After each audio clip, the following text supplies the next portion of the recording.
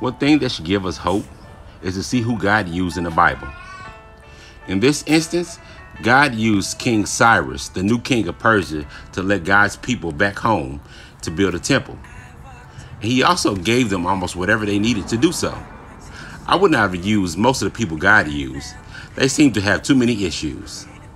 The Bible does not hide the failures, fears, and mess ups of biblical characters. As we learn more about the, these overcomers, we are happy to shake off the unworthiness, insecurity, and negativity that tries to hold us back. When people cry out to do something about the problems of the world, his answer is always to give someone an assignment. And usually, this person does not believe they are capable of what God had to do for them.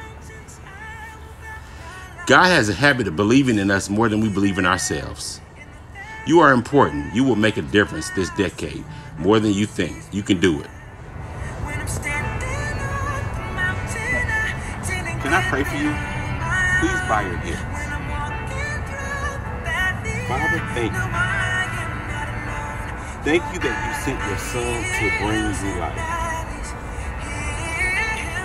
Life in the fullness. Life for the eternity. Thank you that I share in Christ's resurrection life. That Christ is alive in me and his spirit dwells deeply in my being. Right now, I receive your healing. I receive the same power that raised Christ from the grave.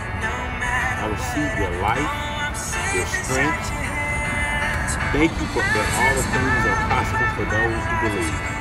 Thank you that you are moving in me right now.